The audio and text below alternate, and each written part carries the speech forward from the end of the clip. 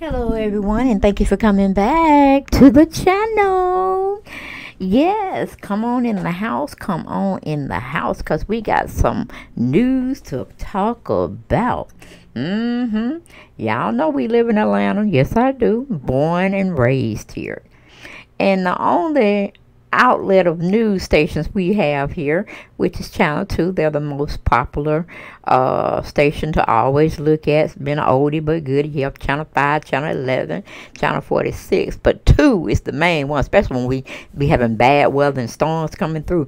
They all, they're like the main staple of news broadcasting you want to look at. So Nene has definitely made the news. I don't know if it's been a slow month or a slow day, but they got her up there on television and letting us know what she did in the federal courthouse downtown in Atlanta, Fulton County courthouse. Okay, and I'm like, Lord, Nene is playing Russian roulette.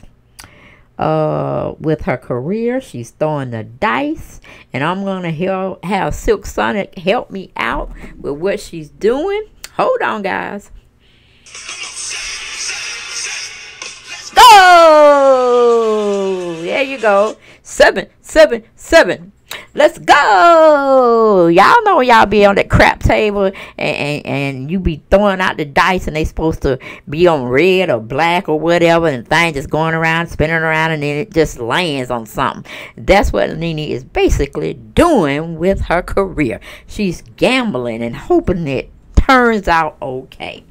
But I'm like, no, this is going to be part one of many videos to come. Okay, I'm just letting you know. So get situated, get seated, and hold on tight because we're going to have a lot of kikis, ha-has, and might be some real good pointers come out in the videos that's going to come ahead. But child, she is playing Russian roulette with herself with her brand.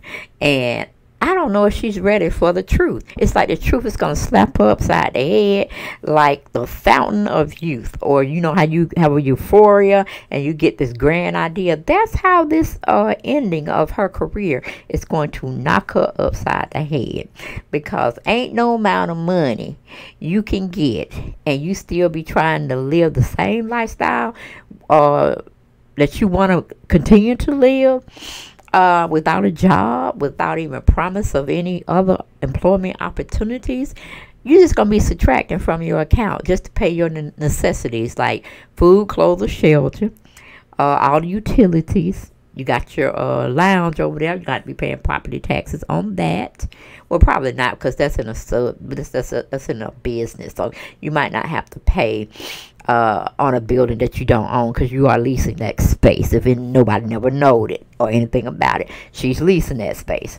So she can kind of have the loss or whatever. Kind of what Peter Thomas doing with Bar One. You know what I'm saying? It's leasing. It's not on no land that you own that you can, you know, buy it lock, stock, and barrel. But yeah, she, she's got to pay a lot of things monthly if you don't have any jobs or you don't have any job opportunities that are just waiting for you to partake of, that money's going to dry up like the Sahara Desert. Okay?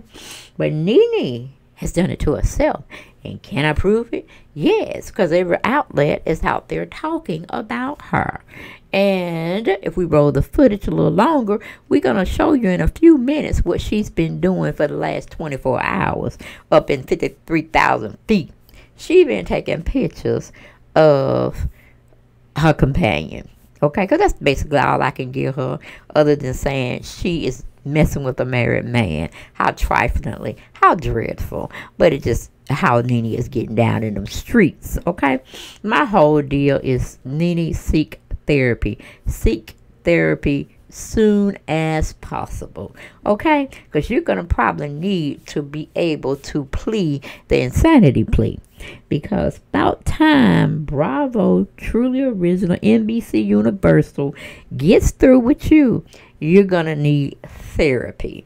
So instead of you chasing this little man, putting him on photography moments, giving the correct optics, which I don't know why you are sitting up there he pretty much looked like he's sleeping in a casket. Okay, if we didn't have the other effects to know he's sleeping in one of those uh, first class um, seatings where you can recline and take a nap instead of third, something that coach and business and the other parts of the plane with the people and their occupancy, they have to sit straight up. Okay, their whole time um, traveling. Uh, so it's a little bit uncomfortable for them, but mo- mostly the first class people they ride in kind of plush style. And guess who is that? I know y'all know who that is. Mm. Apollo Nida. And you know he went to jail for a white collar crime. So what is he doing up there being besties with Naomi? I mean, did Naomi fit him for his custom uh, suit that he's wearing? I, I don't know. Skinny, it's like a skinny suit, isn't it, y'all? A skinny tailor-made suit. And I was like, oh, so everybody's banking on Nene. Everybody's looking for Nene to get a good payday. Sorry, y'all.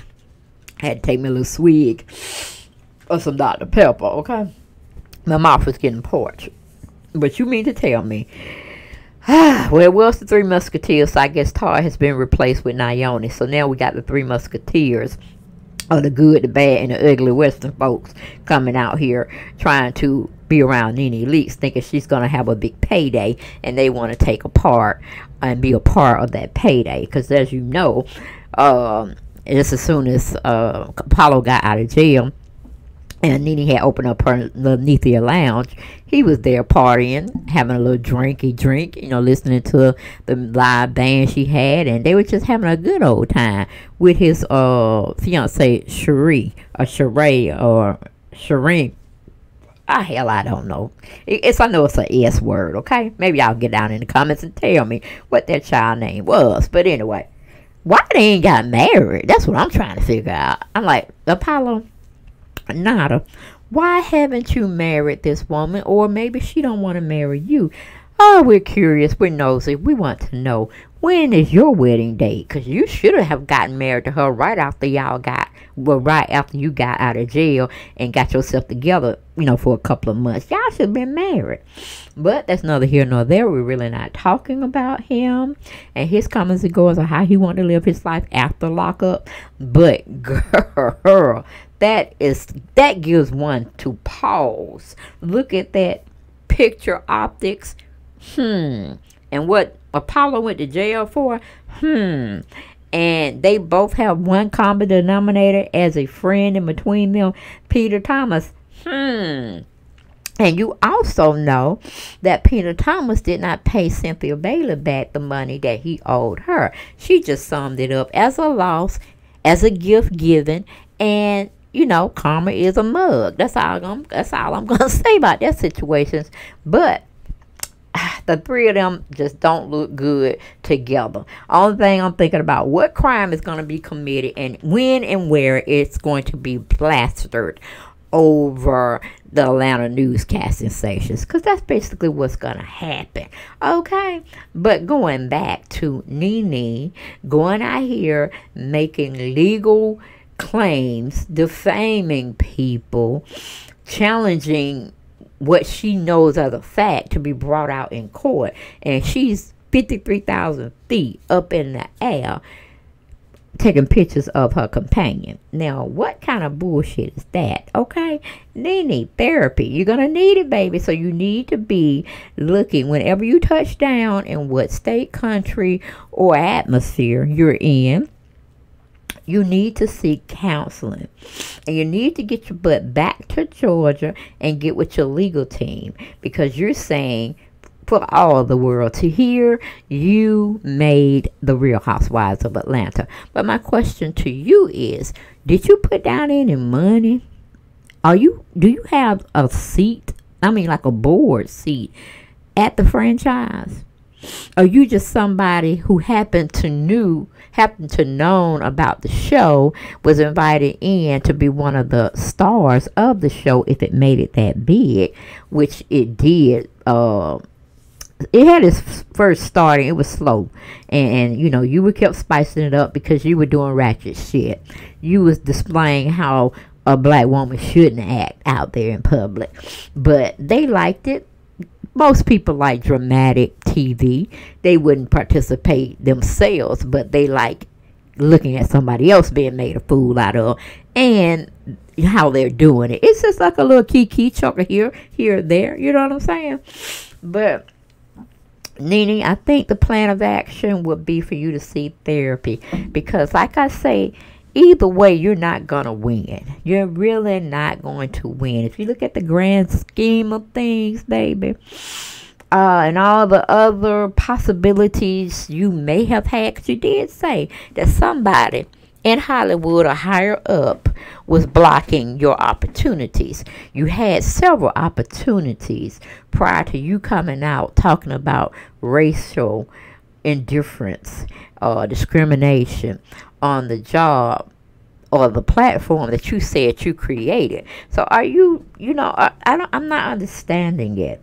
You are boycotting in your own little words the people who actually created the show put their own money in investing in the show, but you help make this come alive. And that's understandable. Yes, you were one of the top people because I think they really wanted Sheree to be able to show up and show out because she was married to an NFL player. Um, and he was coming with some baggage of a storyline that you know he wasn't treating you right financially he wasn't treating the kids right financially then you had DeShawn Snow she was also married to an NFL player or was yeah I think he was in a, I think he was a football player too and then you had uh uh, Lisa Wu. She was married to the musician, the artist, the R&B crooner, Keith Sweat. So, you know, they had some heavy hitters. And you know we were sitting there trying to figure out what you to tell us about Keith Sweat. But I don't think we really got out her when she was on the seasons was basically he didn't want his kids to be shown on television. And we didn't really see anything of Keith Sweat or anything. And, you know, nothing really was being really told. So she really did not have a storyline. Then she got with another uh, cat and he set up there. He didn't really want it either. He was they both were trying to have a baby. She wanted to have another baby. And you know i guess to solidify herself to have more money coming in when she didn't feel like working. But you know a couple of the girls got tossed off. They were boring or they just didn't bring the ratings in as Nene was clowning around there cussing you know Dwight out here and there getting getting into it with stylists just everybody. You know what i'm saying? So that's what drove the Real Housewives of Atlanta franchise. They wanted black women who were successful in other career choices prior to getting on the show. Speaking of Kandi Burruss, and like I said, Keith Sweat's uh, ex-wife or girlfriend, shit, I don't know, uh, Lisa Wu, uh, and DeShawn Snow, she was married. They were trying to uh, see what's happening in her life. And she really lived a very spiritual life. And she was giving her tithes. She was paying, she was taking us to church, honey, when she was doing her filming. And it was peaceful. you know, that she's sitting up in the, the, you know, the stand, we call it the, uh, the audience stands, you know, where we look to be uh, looking at a preacher or the choir perform. And she was up there writing her tithes out and her offerings out. And, you know, most people don't want to see stuff like that that's made of good stock viewing. You know what I'm saying? Good television programming. They didn't want that. Bravo wanted, you know, the X factor. They wanted the stuff that stirs the pot and get people's uh, emotions jumping for the negative. You know what I'm saying? And that's what Nene gave them. Because she always be talking about she built them. She built, that's her baby, the that, and third. No, you were just a good fool actor that they had, cooning for the stage and whatever, and bringing in ratings. And if they felt they needed to toss you a million here, two million there, they know they would get you lock, stock, and um, barrel to continue to act a fool. But when people were waking up being a little bit more conscious of how their black women were being destroyed, torn down, and made to look like step, stepping and fetching, you know what I'm saying? Uh, and becoming more so of a house egger, they were like, okay, no, we don't want to be seen that way. Just like we don't want to be seen in all these older uh, 70s flicks with, uh, you know, showing us as pimps uh, prostitutes and maids. No, we have gone beyond that. we got education, so we need to see our black women being upheld and them being successful, and this is why they get this, that, and the third. Okay, that's what we wanted to see. And they were like, okay, okay, well, we're going to get rid of some ratchet people, you know, and then they, they start, you know, thinking about they weren't bringing in a lot of ratings, but they were getting paid a hell of a lot of money. And just so it seemed fair, they didn't just want to cut Real Housewives of Atlanta. They did some other franchises in other states as well. And they pretty much were trying to downsize on the OGs because they had paid them lucrative money. And like I said, it don't take much to go on television and act a damn fool, okay, and get them ratings popping. You know, you might not slap somebody upside the head, but you'll be using your mouth verbally, and that sells. You know what I'm saying? I hate to say it, but ratchetness sells. And that's what people gravitate, they gravitate towards. Um, and it's just befitting of just what you like to look at on your spare leisure time or if you call yourself ratchet you know day one of course you're going to want to watch somebody that's ratchet too so that's going to be your complete assignment and your pleasure for that moment. But uh, yeah, Nene just went too far too fast. And whoever is representing her they know, and I'm pretty sure they've told her this could go either way because we do live in a state, which is Georgia, where we have no laws to protect us. We don't we don't have unions down here to fight the big fight for us when our employers are not doing what we feel they need to be doing, looking out for their uh, workers or you know contractors because that's what Nene is. That's what I am. I'm contracted in uh, to do a certain job, do it well, and I get paid, get bonuses, stuff like that. That's exactly what Nene and Kandi and the rest of the crew that get into these reality shows, y'all are contracted to come in and do a job. And Nene just got, I don't know what Nene just let you folk get up in her head and let her believe that she was the head uh, chief and that HBIC and nobody could touch her and this, that, and the third. But, you know, you forgot about things, Nene.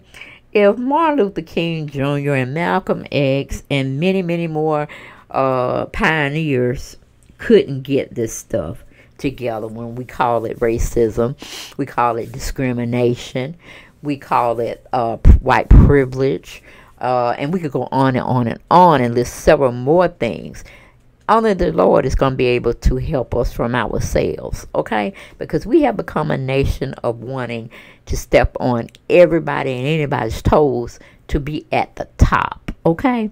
Because some people can poke straight up to the top and miss the whole journey of having those stepping stones and those moments where you gradually go up the ladder to the top. You know what I'm saying? Some people just compose straight up there. So you know how they say it, nothing ventured, nothing gained. Uh, how you get it is how you lose it. These are all adages that you should take in mind because when you get so high and somebody pulls you up that high and you know you shouldn't have been at that level at the stage that you are in. But they want you for something. What that something is, only you and that person that's asking you what they what they want from you or what they think you need to be doing for them if you want to stay at this level. And it's quite uh, the same thing as in the music industry. I know y'all have heard about these one hit wonders. And at first I thought, well, damn, you know, they just must have had, I mean, I, I thought they had the talent, you know, they had the voice and all this, that, and third. But after listening of a, uh, to a lot of people that have been in the industry in some form of fashion, it's some weird shit go into that satanic business. I'm telling you, people, okay? And if you don't do certain things that they want you to do, then they start bringing you back down the level, uh, the ladder, okay? And then you will be an afterthought. But it's amazing when I used to hear about what happened to this person, what happened to that person, because they didn't necessarily like fall off because they got mixed up with drugs or alcohol and they just came addicted and it destroyed their lives. No, they were like, that's not for me. Some people would be boisterous and and uh, tell you what they were privy to, I mean, you have even comedians telling you stuff. Even Katt Williams was up there telling you how they go to these celebrity parties or these big industry parties and they be seeing everything under the sun. And you be like, what? Why? For real? You know what I'm saying? It'd be blowing their mind. And some people be like, no, not going to do that. not going to sacrifice myself. Nope. Ah, ah. And then that's how they become one-hit wonders. But my thing is, Nina, you can't um you can't bite off the hand that feeds you and think you're gonna grow another hand and it's gonna be okie dokie. Everything's gonna be right back where it was. No, anything I think Greg saved you a lot uh, from the industry, but for some reason you just weren't accepting of what he was trying to teach you. Because I think you would have really been gone if Greg didn't and wasn't there for you to let you navigate and maneuver you around certain uh, stumbling blocks you were putting in your, you know, your path. And that mouth of yours. I said, don't be like Tasha K up there. You know, uh, one of these bloggers that came to Atlanta because she's not originally from Atlanta. But you see the whole thing she messed up with Cardi B. They had their trial here in Atlanta. Didn't too much people care about it because it's just like you know, it is what it is. You know what I'm saying? Nobody really want to take our word and just go fill the courthouse. And, you know I'm saying? That wasn't sens sensational enough, or slanderous enough to get people up in there. Because really, any courthouse, unless they put it as a closed setting, because uh, they do some murder trials like that as well. You can always go into the courthouse and sit in on divorces or civil cases and, you know, just be a spectator. So that's nothing new. Uh, if you didn't know that, you can do that. Uh, I plan on trying to do stuff like that when I retire because it's kind of interesting. You know what I'm saying? You just want to see how the court of law prevails in certain civil cases and some criminal cases if you can get in on those criminal cases.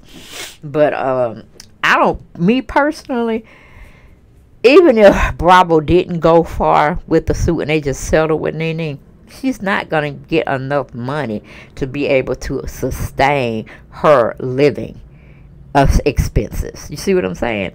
Because if you ain't got, if you got a certain amount, say you got 25 million, they give you for this lawsuit that she's pertaining or trying to be a part of. Or I should say, she elected to draw the first gun and shoot the first bullet out the chamber. That shows she was serious about what she felt she needed from that company, you know, Bravo she drew first blood in a sense. So you know they're gonna retaliate, and they got the best lawyers. So, like I said, to make shit just go away, they will pay her X amount of dollars. But if you get that money, you receive that money. Just know it's it's either hush money or however you want to look at it. But nine times out of ten, you're not gonna have any more job opportunities issued to you. Oh man, you might have just going to fire your agent and your whole team after this thing was resolved because you're not going to be working. You're not going to be working. You're not going to go up to Jewish people, white people, and demand stuff and try to make them feel a certain way.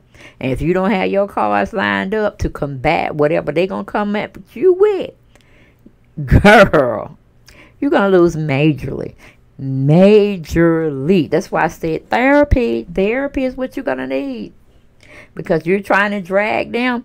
And I just uh, found out on another story I'm going to do on Radar Online. So now they're saying you owe back taxes, child, even though you say you have paid them off. But that shit is uh, resurfacing. Okay, and I didn't really know about that. It must have, must, I don't know where I was when that story came out.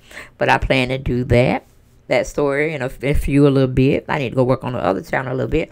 But I'm like, you hanging around conspicuous people that do conspicuous things.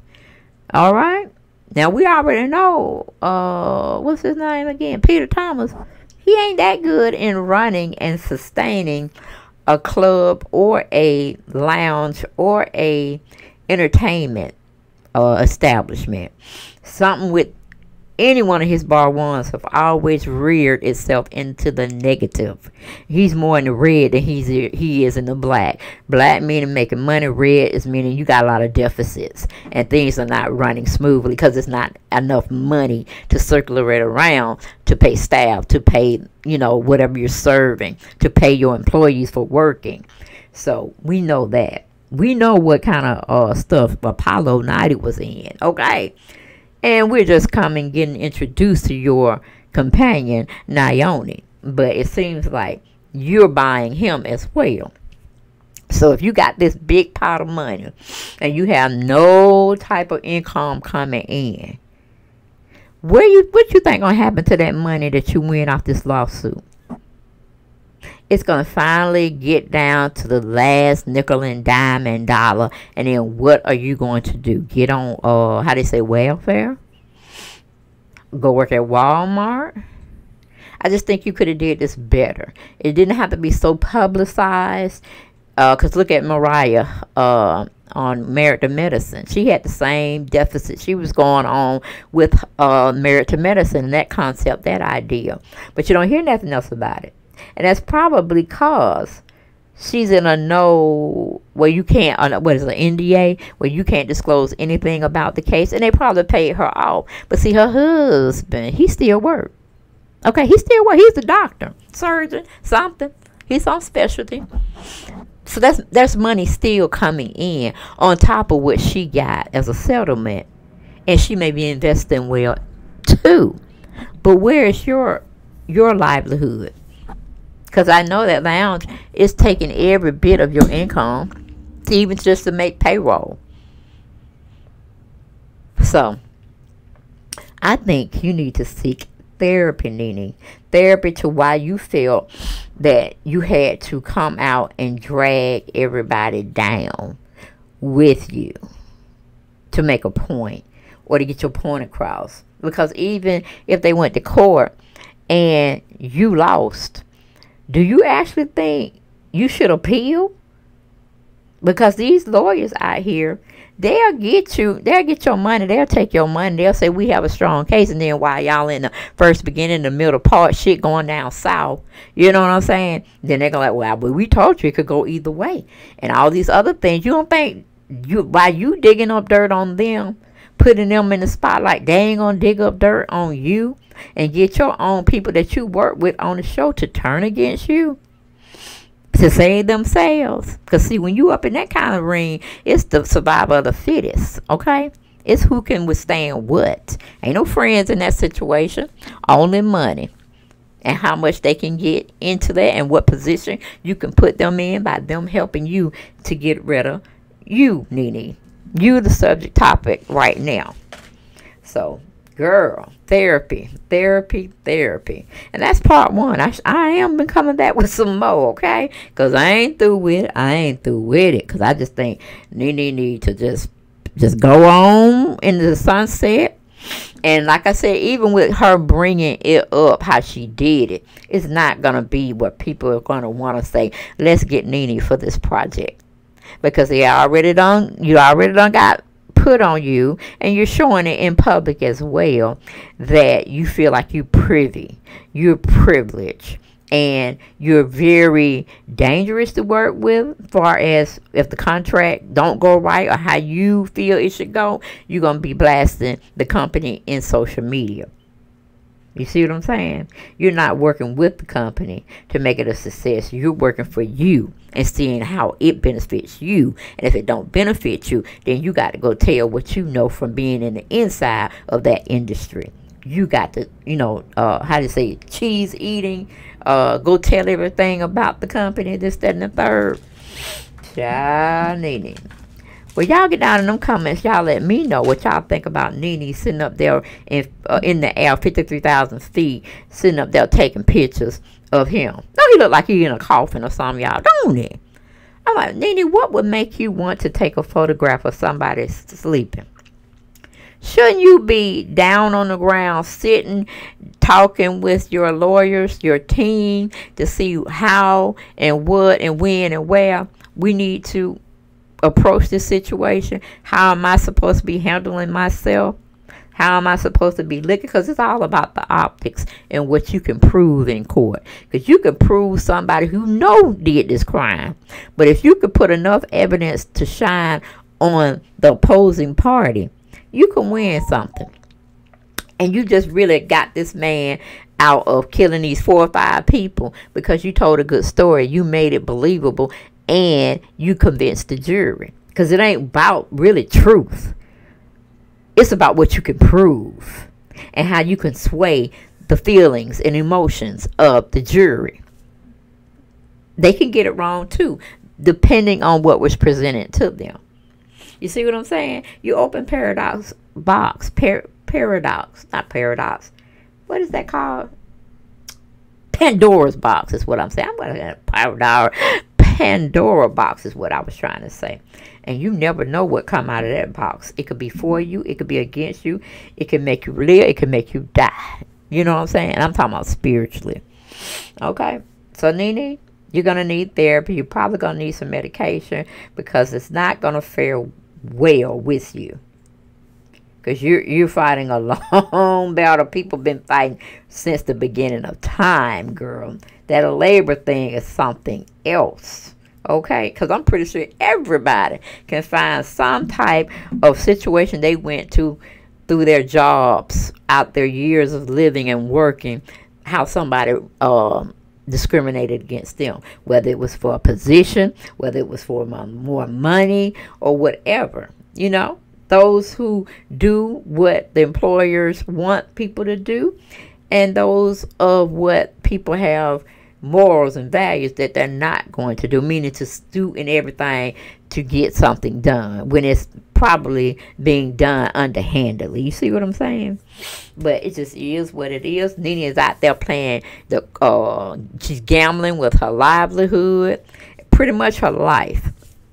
And she's just rolling the dice. Seven, seven, seven. Let's go. Yes, honey. She playing the craps. She's shooting craps for her life her livelihood.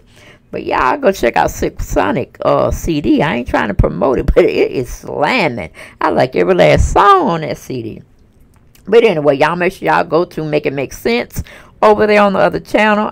Um, it is in my drop down box in my description on this page where you can link yourself and go straight to it.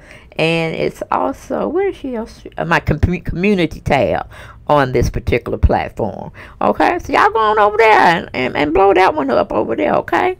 And I'll be over there soon cranking out more videos than what I think I got three or four on there now.